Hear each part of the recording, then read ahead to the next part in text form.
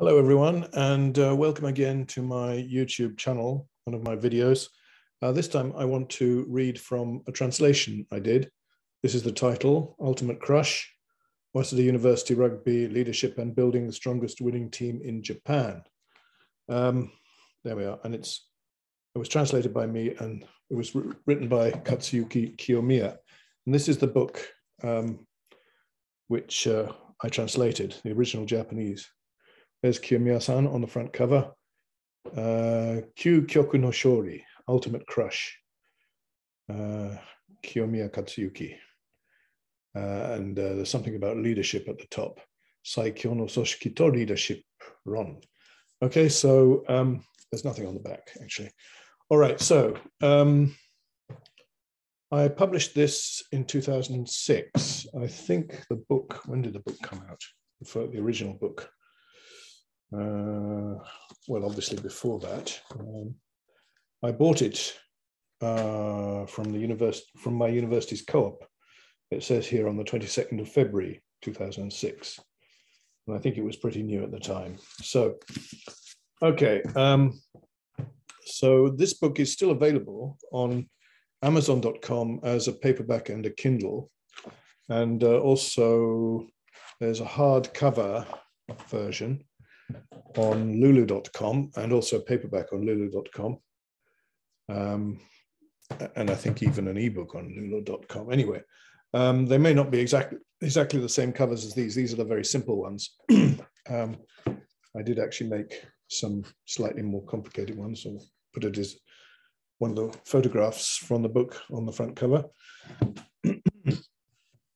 so here we go. Anyway, um, Ultimate Crush Waseda University Rugby Leadership and Building the Strongest Winning Team in Japan by Katsuyuki Kiyomiya, Waseda University Rugby Coach, 2001 to 2006, translated by Ian Ruxton. Here we've got um, uh, Kiyomiya-san with uh, Katsuhiko Oku, who features strongly in this book. Uh, I'll just read what it says under there. Um, rugby coach Katsuyuki Kiyomiya on the left and his Waseda University senior uh, senpai Katsuhiko Oku in England 2002, the inventor of the ultimate crush slogan and the tousle-haired general who adopted it and made it a reality. And the next is Translators Forward, that's by me. A little bit of a play on words there, uh, because I am a forward when I play rugby. Haha. The three main purposes of this translation are as follows. First, to give an insight into the exciting realities of the vibrant domestic Japanese rugby scene, which have remained, sadly and for far too long, almost a closed book to the rest of the rugby world, mainly because of the formidable language barrier. Secondly, to show that rugby union at the top level in Japanese universities is coached by serious and professionally minded educators like Mr. Kiyomiya, Kiyomiya-san, and his great rival, Mr. Haruguchi, Haruguchi-san, who have original ideas and many notable and remarkable successes with them. And finally, to stimulate deeper thought and broader discussion about the nature of coaching and leadership, since the techniques introduced here can, it is felt, be effectively used not only in rugby outside Japan, but also in the wider world beyond rugby football, which is, after all, only one small, if significant part of that great field of human activity and endeavor which we call life with a capital L. Acknowledgements. This book was first published in Japanese by Kodansha Company Limited in February 2006 as Kyu Kyoku no Shori, Ultimate Crush. The English translation would, of course, not have been possible without the kind consent of that company and of the author, Mr. Katsuyuki Kiyomiya, who has already written several books on similar subjects. I first approached him by a letter of self-introduction dated March 20th, 2006, after I had obtained a copy of the book from my university's co-op. I explained that I was researching Anglo-Japanese relations, especially the diplomat Sir Ernest Satow, that I was a long-term, uh, at that time 18 years resident of Japan and very fond of Japanese rugby, that I felt one of the reasons why the Japan RFU had unfortunately failed in its bid to bring the Rugby World Cup 2011 to this country was a lack of knowledge throughout the world of Japanese rugby from the inside, and that an English translation of his book might be a first step to remedying this. How persuasive these arguments were, I cannot say, but anyway, I'm very grateful for Kiyomiya-san's permission to undertake this project and for letting me tackle it, that's a pun, with only words of encouragement and the answer to occasional queries directed at him. I also wish to thank Hikita-san, webmaster of the Waseda University RFC homepage, for the photographs which are included in the tax, text, and as always my wife for her unfailing support. Rugby in Japan, a very brief outline. Many Japanese are justly proud of their excellent rugby traditions and the fact that the number of players registered in Japan is the fourth highest in the world. Rugby union, with its emphasis on teamwork, strategy, and fighting spirit, is ideally suited to the culture of the land where the world famous and noble samurai tradition was born. Rugby for adults in Japan is, like the Gaul, that is modern day France, described in the great Roman general Julius Caesar's De Bello Gallico about the Gallic Wars, divided into three parts company based teams, university teams, and club teams. The top league, founded in 2003 with 12 teams, is the semi professional pinnacle of the pyramid. Well, it was at the time, okay?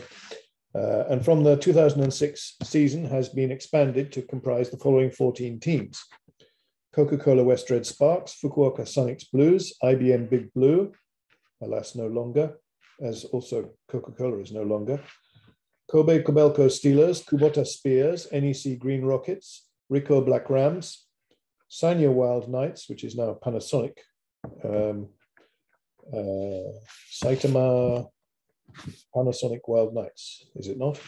Secom Rugguts, I don't know what's happened to that team. Suntory Sungoliath, uh, now coached by Mr. Kiyomiya.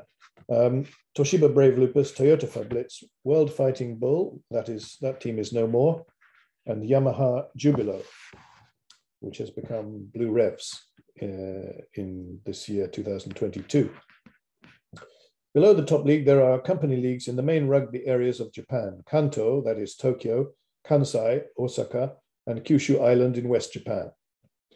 The top university teams are almost all in the Kanto area. In alphabetical order, they are Hosei, Kanto Gakuin, Keio, where rugby was first introduced by two Cambridge graduates, E.B. Clark and Ginnosuke Tanaka in 1899, Meiji, Teikyo, and Waseda. In the Kansai area, Doshisha is traditionally the strongest team, though Kyoto Sangyo, Osaka Taiiku, that's physical education, and Ritsumeikan have also been strong in recent years. Kyushu has many of the best high school teams and also the brilliantly innovative and unique Sanix World Rugby Youth Tournament since 2000. Alas, it hasn't uh, happened for the past two years, and uh, this year I think will happen only with Japanese teams. Uh, but anyway, uh, since 2000, in which Japanese high schools take on schools from the rest of the world in a kind of mini World Cup. That's what Kiyomiya-san described it as to me. But unfortunately for Kyushu, most of the best players head for the top universities in or near Tokyo on graduation. This ingrained tradition seems unlikely to change in the near future.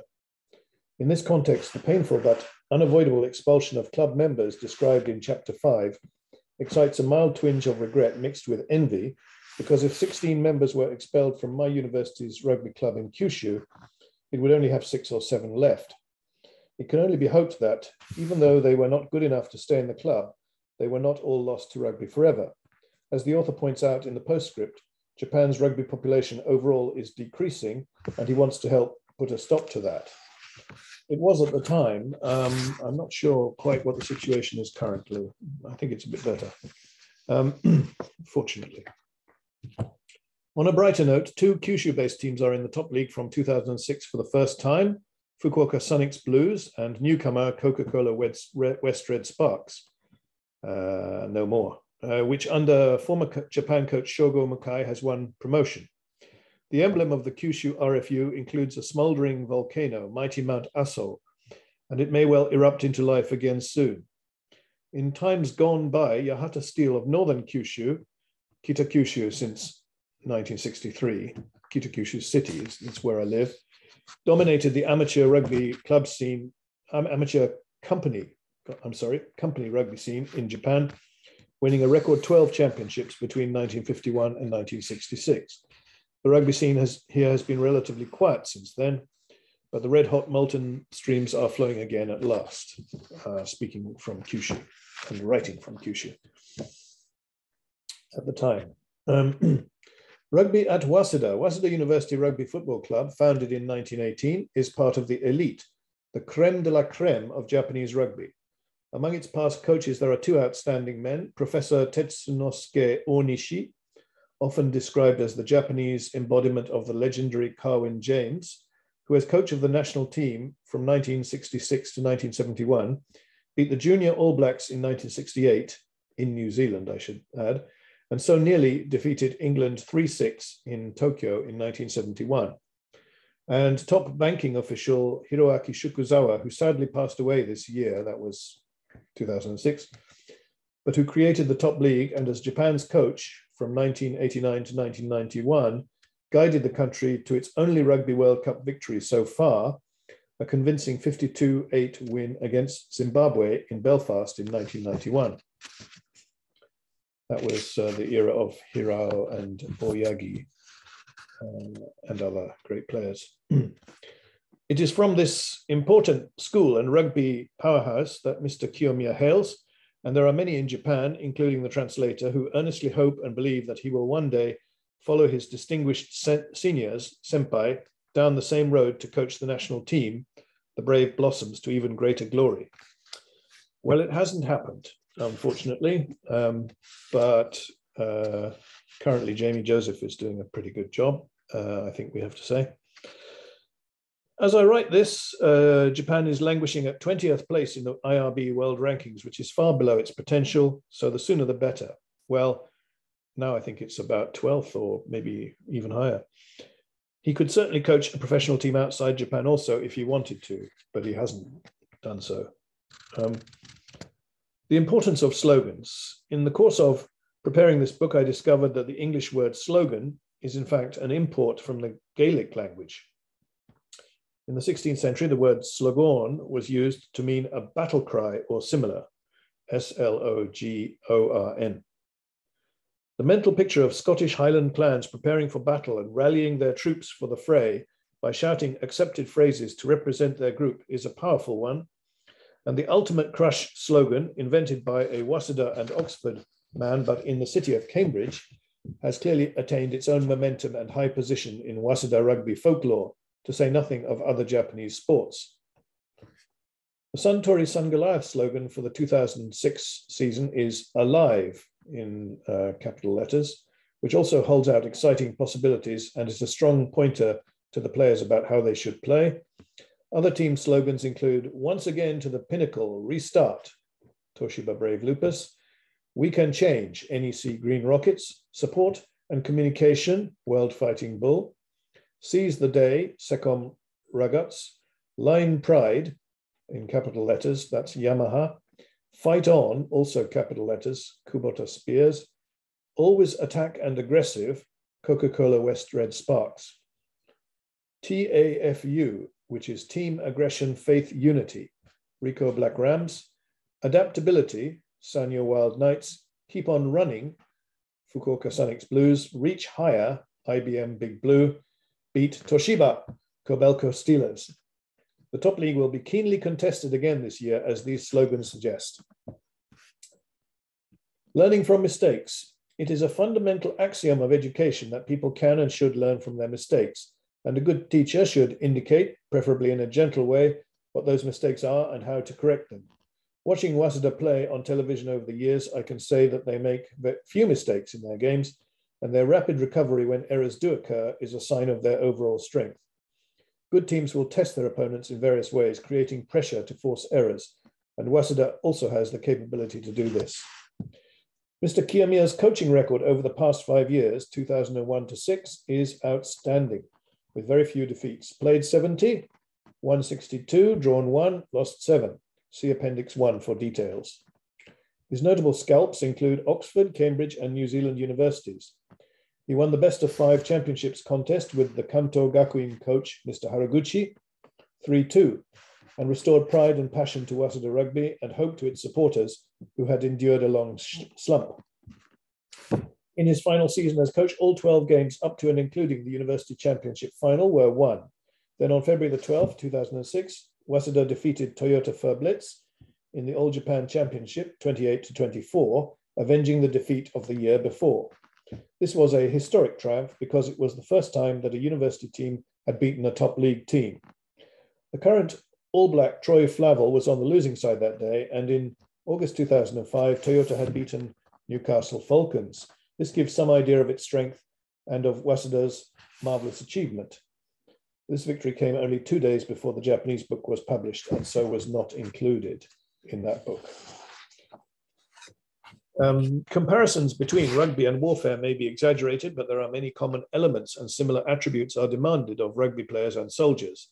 For example, courage, skill, loyalty, determination, endurance, discipline, fitness, strength, quick reactions, and cool heads in the heat of battle.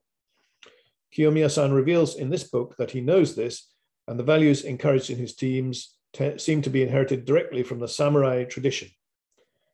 Tough, noble, and in Western terms, Spartan.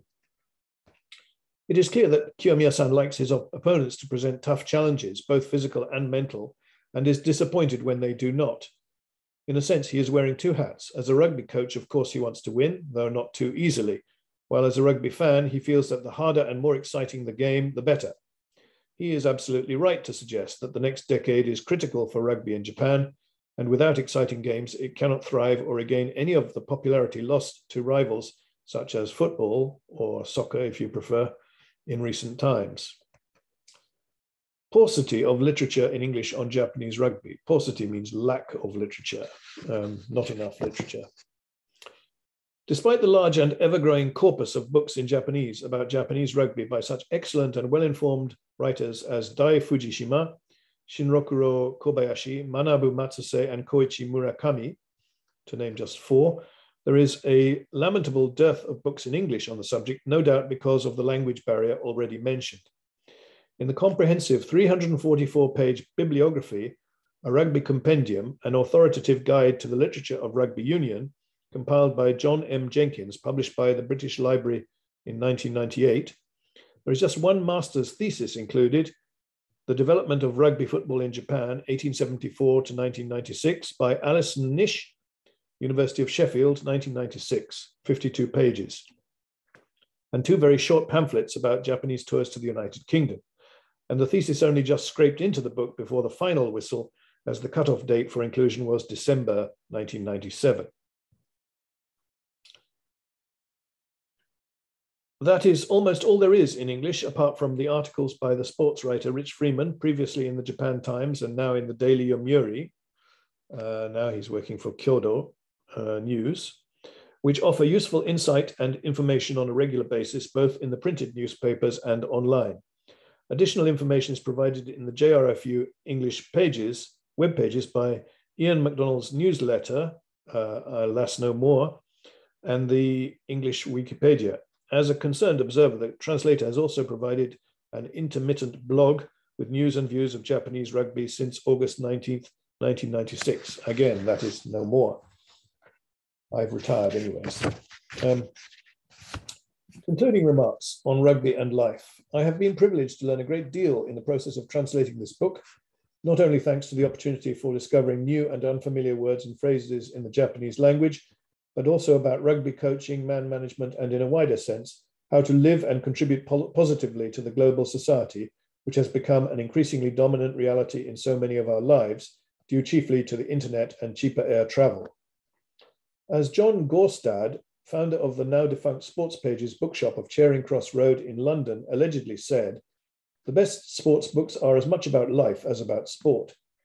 Mr. Kiyomiya's book undoubtedly passes this test with flying colors the inexplicable and callous murder of the Japanese diplomats Katsuhiko Oku, 1958 to 2003, and Masamori Inoue, 1973 to 2003, and their Iraqi driver, is the shocking and deeply distressing event with which this compelling story begins. It has been turned to great benefit in the long term by the creation of the Oku Inoue Fund for the Children of Iraq, an initiative spearheaded by Mr. Kiyomiya who already before that had shown the leadership and drive necessary to create the NPO, non-profit organization called Waseda Club, that's in capital letters, to encourage children in Tokyo to take up various sports, see chapter four. There are echoes of US President John F. Kennedy's great exhortation, itself a rousing slogan, at his 1961 inaugural address. Ask not what your country can do for you, ask what you can do for your country in these pages. It should also be remembered that the Peace Corps was created by Kennedy, and in the longer term, the underutilized soft power approach it symbolizes may well be a far more effective tool in the struggle. I much prefer this word to war, with the worldwide disaffection, which is conveniently but not always appropriately labeled terrorism, than all or any of the Pentagon's armed forces. Japan has no tr long tradition of international charities or of charitable foundations in the sense that have existed in Britain, at least since the Charitable Uses Act of 1601, and in other Western countries. The international dimension was, of course, impossible throughout the Edo era, 1600 to 1868, when the country was completely isolated from the rest of the world. The Meiji era, 1868 to 1912, saw the founding in 1877 of Japan's first charity, the Hakuaisha, by Count Tsunetami Sano, 1822 to 1902, of the Saga clan in Kyushu. It was the forerunner of the Japan Red Cross Society, created in 1886, when the Japanese government signed the Geneva Convention. The former organization's purpose was to care for the dead and wounded on both sides of the Satsuma Rebellion, the Seinan Senso of 1877, and it enjoyed the support of the imperial family from its, from its inception. Historically, the nature of Japanese religions may have played a part in not encouraging the development of more charities. The indigenous Shinto religion began as a form of animism, and while it stresses purity, it is not essentially an ethics based religion. Buddhism, imported from China, India via China, preaches compassion and self denial, but generally expects financial support from believers and does not have the missionary spirit associated with Western Christianity, based on which many organized charities have flourished at home and overseas. Another factor might be the length of tax, might, might be the lack of tax incentives for charities, such as are often provided in Western countries, but I claim no expertise in this area. The Oku Inoue Fund is in any case a major step forward. It encouragingly signals a new willingness of private individuals and non-profit organizations NPOs in Japan in the 21st century to engage with, befriend, and provide assistance to the less fortunate in other countries. And it is an admirable initiative deserving of international support. It also shows the kind of originality of which Katsuhiko Oku, posthumously promoted to the rank of ambassador by the Japanese Foreign Ministry, would surely have approved, as it is carrying on the work of outreach which he himself began. Continuity is a vital ingredient in life as in rugby. It was Ambassador Oku, his character and ideal shaped profoundly by the game of rugby, who wrote so movingly in one of his letters in Japanese from Iraq, Iraku Dayori, which are preserved on the website of the Ministry of Foreign Affairs. There is hope.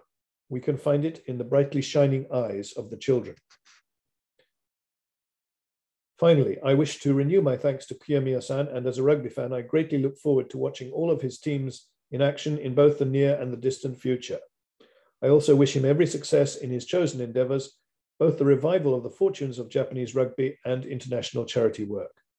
These are massive tasks, but he deserves to continue to succeed in them because, like his much loved and sorely missed senior Okusan, he puts everything he has his heart, soul, passion, and boundless energy into all that he undertakes. He has indeed learned a great deal from his senior, Senpai, as he states in this book, and he clearly loves rugby and his work, leading a large staff, and as a good coach manager, or leader commander, if you prefer, should, getting the best from them and his players. It is not hard to see why Kiyomiya-san is the focus of so much of the sports media, media's attention in Japan, and there is no point in his light being hidden any longer under a bushel as far as the international rugby media is concerned. Now the game has just begun and the clock on the scoreboard is ticking the seconds away. It promises to be an exciting encounter, tough, fast and furious. Kiyomiya has received the ball from Oku and is charging forward, holding it firmly with both hands. There may be there may well be a few setbacks for the team as well as joyful moments. But at the end, there is indeed hope of nothing less than an overwhelming victory.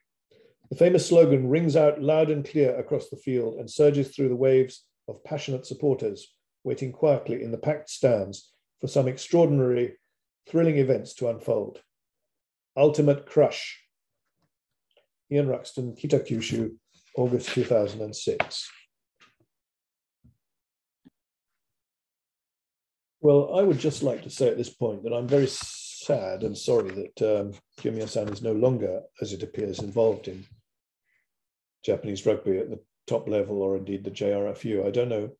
I have no idea what happened. Um, he was a, um, a, vice president, I think, of the JRFU. Um, but obviously there were some disagreements and uh, uh, there was a parting of the ways, which is, I think, is unfortunate, uh, if you want my personal opinion.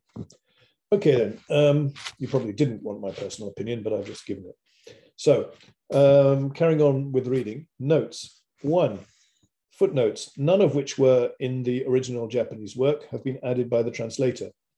These are mainly intended to give explanations of Japanese cultural matters. Two, Japanese names in the text are given in the Western style, family names second.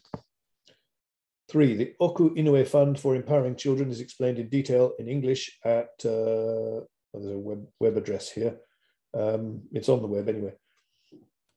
Donations, great and small, are welcomed and gratefully received. I presume it still exists. Um, other books by the translator, well, I've translated from Japanese uh, a book about Japanese students at Cambridge University in the Meiji era by Noboru Koyama, um, published by Lulu Press in 2004. Um, and then I refer to my books about Sir Ernest Satow, which uh, are amply introduced on this channel in other videos. So I won't talk more about that. Okay, the next is a profile of uh, Kiyomiya-san, Katsuyuki Kiyomiya. Born in Osaka Prefecture in 1967, he began to play rugby at Osaka Prefectural Matta High School, Moto Kensan Renma, devoted study and training. He was a regular from his first year and played at number eight from his second. In his third year, the team appeared in the National High School tournament at Hanazono, Osaka, and reached the third round. He was also selected to play for the Japan High Schools 15 and captained the team. I think he was selected uh, by Haraguchi-san, who later became his rival as a coach, uh, if I'm right. I think I'm right. In 1986, he was um, admitted to Waseda University and was a regular member of the team from his freshman year. In his second year, the team defeated Toshiba Fuchu, forerunner of Toshiba Brave Lupus, to become All Japan champions. In January 1990, he became the team captain and the team won the university championship. On graduation, he entered the Suntory Beverage Company and played flanker. In 2001, he retired from playing and was appointed coach of Waseda University Rugby Football Club on secondment from Suntory. In December of that year, he led the team to its first Kanto University's league championship for 11 years and was unbeaten in the league. In January 2003, his team achieved Waseda's first university championship in 13 years. In 2005, they achieved the historic first of five successive unbeaten years as Kanto University's league champion. In 2005 and 2006, they won back-to-back -back university championships. His excellent theories of rugby and charismatic leadership caused him to be appointed Waseda's coach for five years, which was an unprecedentedly long time and many fans wanted him to continue even longer in that role. He represents the Oku Inoue Fund for the Children of Iraq and is a senior director of the Waseda Club, both of which he founded. He also wrote the bestseller Araburu Fukatsu, published in 2002 by Kodansha. Araburu is the song uh, which Waseda players sing after they have won the championship. They can only sing it at that time. I think Araburu means rough winds or something. Um, and Fukatsu means restoration. So restoration of Araburu means the restoration of championship winning. In March 2006, a new chapter began when he left the Suntory company to become the full-time professional coach of Suntory Sun Goliath in the top league. The story continues. Uh, then we've got the contents. Um, I'm not going to read them all in detail, but uh, you've got a preface, the slogan left by Katsuhiko Oku. Chapter one is the rudiments of coaching. Chapter two, victory theory. Chapter three, ultimate crush. Chapter four, aiming for the top league. Chapter five, what it takes to be a coach. Chapter six, challenging the world. Chapter seven, the timeless appeal of Waseda rugby. And then postscript, the boys were fantastic. And then two appendices, which I have added. Appendix one, Waseda Rugby Football Club results under the coaching of Katsuyuki Kiyomiya, 2001 to 2006. And Appendix two, a chronology of Waseda University Rugby Football Club. So, um, next is the preface, uh, which is page one. And I think I will read the preface uh, to give you an idea of Kiyomiya-san's writing. On November 29th, sorry, preface, the slogan left by Katsuhiko Oku.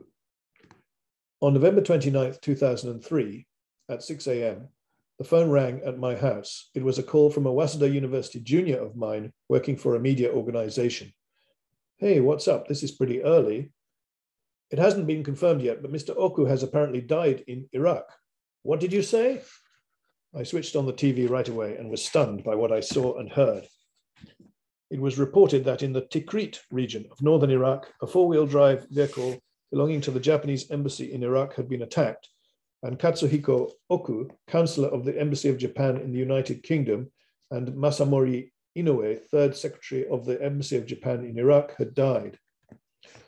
According to local police reports, the embassy vehicle had been traveling in the right side lane of a two lane highway when the perpetrator's vehicle approached it in the left side lane, and 25 shots were fired from an automatic rifle.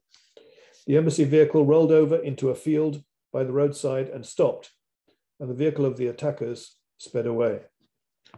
My wife turned pale and rushed out of the room.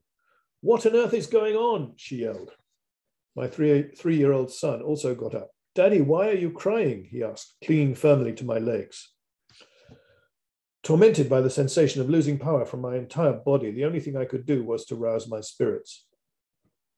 After that, I got in touch with the relevant people and arrived at Waseda University's Kamiigusa ground at about 11 a.m. There was already a TV camera waiting there, and an interview was conducted with me on the spot. Katsuhiko Oku was like an elder brother to me. He was a former member OB in Japanese, short for old boy, of Waseda Rugby Club, one of only four or five people who figured large in my private life. He was one of those important people in my life. That is what I said to the television interviewer. The newspaper reports on the next day all described Oku as having been a former Waseda University rugby player, despite his official title, which was Counselor of the Japanese Embassy in Britain. Before beginning the rugby practice, I had all the 100 players of the club assemble in a room on the second floor of the gymnasium next to the training ground. About 10 of them had met Oku when they had toured England and knew him personally. Also, the fourth year students had attended a lecture given by him at Waseda's Higashi Fushimi ground when they were freshmen. They too seemed to be in deep shock at the news. I think all of you know this already, but today we lost an important person then, as I dissolved into tears in front of the players, I began to explain the origin of the slogan, Ultimate Crush. Okusan's death was a great loss to the world of Japanese rugby. But the slogan he left us has become the flesh and blood, and even the spirit and life itself of Waseda Rugby. By using the slogan, we have made it our own. On Sunday, January the 8th, 2006, in the National Stadium, Kokuritsu Kyogijo, Waseda defeated Kanto Gakuin University in the final of the University Championships, thus achieving for the first time in 31 years the longed for goal of two successive back to back championships. The score was 41 5. It was probably the first genuine example of ultimate crush, i.e., an overwhelming victory in my first in my five years as coach. When the team captain Takamichi Sasaki began a solo rendition of the Waseda school song reserved for championship victories called Araburu, I sang along without once opening my eyes. In fact, it would probably be correct to say that I could not open them. The tears which welled up to the point of overflowing in my eyes were probably caused by my decision to finish my time as Waseda Rugby's coach in 2006. At that time, I still I had still not announced my decision, but a lot of people seemed to have sensed it when they saw my tears. After singing Araburu, I ran up into the stand and thanked all the supporters in a short speech. Family, friends, and many colleagues warmly blessed Waseda's championship win. Among them, I spotted the face of Yasuaki Sakyo, who had been captain when I was first appointed coach. As I shook him by the hand, I said to him, It all started with you. If I were to ask to sum up Sakyo's team of my first year as coach in one word or phrase, that word would be spirited. At first, they rejected my appointment. When I was made coach, all the management methods changed, which must have been extremely bewildering for them. But without this challenge, it would be impossible to speak of Waseda's success. Throughout the first year, we continued to win and reached the end of the season without once looking back. It was certainly no cause for satisfaction, but our results were enough to make us runners up in the university championships. In my second year as coach, the captain was real skipper in inverted commas, Daigo Yamashita, and the team motto was run at top speed with energy, ikioi de tsuppashiru. In addition to developing the team, I invited the world's number one coach, Graham Henry, organized the move from Higashi Fushimi to the new ground at Kamiigusa signed a deal with Adidas, and so on. There was no end to the energy, and I, would never once, I was never once beaten by the students in this regard. I believe this energy, ikioi, was the principal reason why we became university champions that year for the first time in 13 years. In my third year as coach, 2003, the group led by Otao, who uh, uh, later played for Yamaha, unfortunately did not get the desired results, but without their efforts, I am convinced that we could not have achieved the second successive championship on January the 8th, 2006. This is because it was precisely during this year that I really began to understand my coaching role. There were several reasons why the team that year was unsuccessful. These included unexpected losses, injuries to key players, and a mid-season, a mid-season tour, changes of team strategy, and so on. Despite these difficulties, I myself learned a great deal about how to build a team that could compete superbly. It was a year in which I studied what was essential to creating a team. The team captain in my fourth year was Seigo Muraoka. I had the impression that they used the vexations of the previous year as a springboard and that they were a mature, united, and confident team. In this year, the fourth year students led the team by example and embodied all that Waseda Rugby Football Club should be. But behind the scenes, there were various differences of opinion and conflicts among the players arguments over who should be appointed captain, club members' advice to leave, and so on. It was a year in which I realized once again how hard it can be to lead an organization and keep it focused on winning. Sasaki's team was my fifth and final one as coach, as I had already decided. The process of that year leading to the singing of the victory song Araburu was indeed the compilation of the fruits of those five years. About half of the previous year's regular team members had graduated, and it was a team of unknown potential in many areas. But it underwent a glorious transformation into the strongest team ever, in inverted commas, in the history of Waseda Rugby.